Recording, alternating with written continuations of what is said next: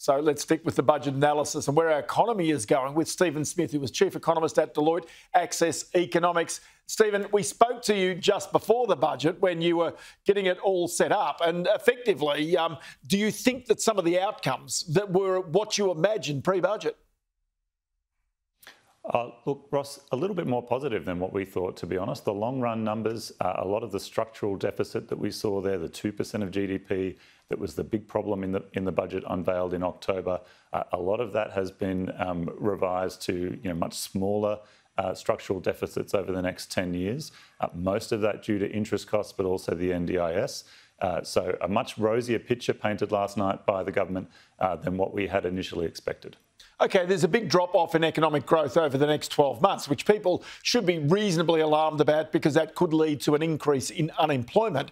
But the fact of the matter is, if the government is, or Treasury is even a little bit wrong about that, that they've overshot it, it really does mean that the budget is likely to be back in surplus next year. Look, that's very possible. Uh, the, the, the deficit next year uh, down to about 14 billion, 13.9 billion uh, in 23, 24. Uh, we saw an enormous increase in revenue over the next uh, four years unveiled in the budget last night, 130 billion in additional revenue, mostly due to company tax receipts and also uh, personal income tax receipts. So if the labour market stays strong, if if unemployment doesn't tick up as much as as Treasury expect, if the 4% wage growth that, that Treasury anticipate does come through, uh, and if commodity prices stay high, I, I certainly think it's a possibility uh, that a surplus could be delivered next year as well. And, and Ross, it's interesting that uh, the, the deficit of 13.9 billion projected for next year, I mean, the government did have net spending of 12 billion uh, next year, just as it is. And so, you know, without that, they would have got close already to a surplus next year. Okay, the other thing also, we're looking here at the unemployment forecast. Now, you know, they've got unemployment really rising pretty rapidly from three and a half to four and a quarter and then to four and a half percent. But let's be honest, again, if they've overshot this and it ends up at 4%, say, for example, because there is still demand for labour out there, then that also is going to feed straight back into the bottom line and straight back into the prospects of a surplus next year. Absolutely, it's certainly possible. We think the unemployment rate assumptions are, are, are, reasonably right, but we do think that the wage growth forecasts in the budget are a little bit ambitious at 4% uh, to the June quarter uh, next year. Uh, so, you know, if, that was to hold, uh, that could certainly uh, see uh, the budget um, sort of pushing close to, surplus. And taxes from individuals now accounts for uh, more than 50% of total taxation uh, revenue from the government. That's, you know, that, that's obviously quite significant. Um, income tax, uh, personal income tax, really the swing factor for the government in terms of where it, it draws its revenue from.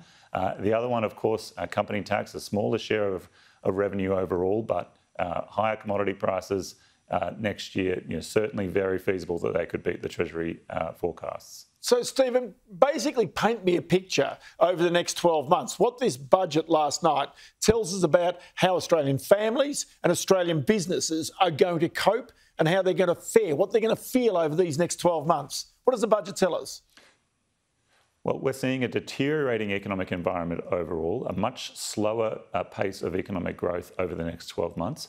We, we do think the unemployment rate will tick up, and we do see negative real wage growth still as, as inflation uh, sort of comes back down uh, to within the target band, but, uh, you know, but, but still remains higher than, uh, than wage growth. So a, a, a slower economic environment, um, households already doing it tough, doesn't matter if you've got a mortgage or if you rent, there's um, considerable squeeze on household budgets and only some, some very modest uh, handouts by the government last night in terms of its cost of living package. Lots of little small measures across a range of uh, a range of areas, from job seeker to uh, parenting payments and alike.